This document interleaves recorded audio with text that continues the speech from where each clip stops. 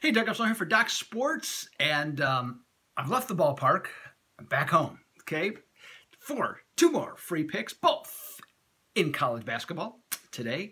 Um, the did a little traveling last couple days, checking out some spring training, so check out those videos. I'd appreciate it, okay? And feel free to comment or ask any questions you have about some baseball teams for this upcoming season. I'm putting together my dossier uh, for all of that uh, before the start of the baseball season. Uh, tonight I have a NBA play. I, uh, it's a uh, my play of the day in terms of totals. So I got that available. That's only $30 at the Doug Upstone page at Docs. College basketball, I got a couple of games that I really like tonight. Had a nice winner, uh, upset winner actually, last night in West Virginia. So we're going to go try and go 2-0 today with that. And in the NHL, I got two more plays as well.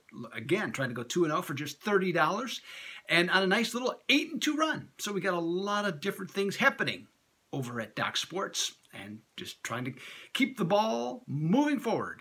Keep trying to uh, pump out those winners for you, see what we can do. Let's get to today's free plays. In the American Conference, SMU is a four and a half point favorite over Memphis. Now, Memphis is in the midst of what for them was a disappointing season. They Penny Hardaway came into this th this season thinking that he had a possibility of being a Final Four team. Of course, that was when James uh, Wiseman was part of his team, uh, or uh, you know, briefly part of his team, but that that has since dissipated. Uh, but they have won their last two games. They beat East Carolina 77-73, and they squeaked one out against Houston, uh, 60 to 59. So they come uh, down to Dallas having won their last two games. Now SMU, they were on the road their last two games, and they lost uh, at Tulane as favorites, and then they went to Tulsa and got blasted 79 to 59. Now, the ponies are back home, and chances are they're probably not going to be in a great mood.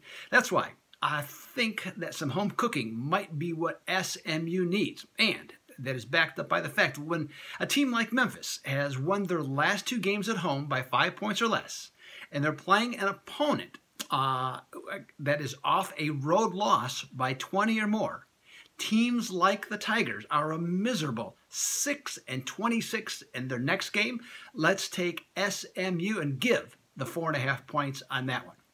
Also, now let's move over to the Big 12. Uh, Oklahoma and Texas Tech are going to do battle. And in this one, we're looking to play against home teams like Oklahoma when the line is minus 3 to plus 3.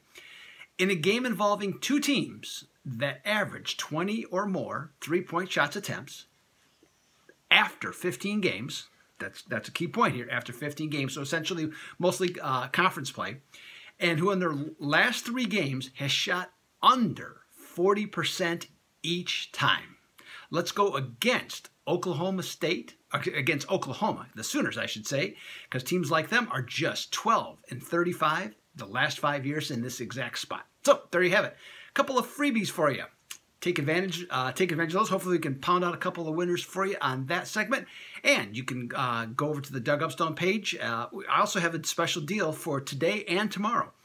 Any package, daily or weekly. So the ones I just mentioned today, use promo code promo25 and you can take 25% off any package I mentioned, whether it be the hockey, college basketball, or the NBA. 25% off today, and that's going to be good for today and tomorrow. So there you have it. I'll be back tomorrow with some more free picks. Until then, this is Doug Upstone for Doc Sports. I'm out.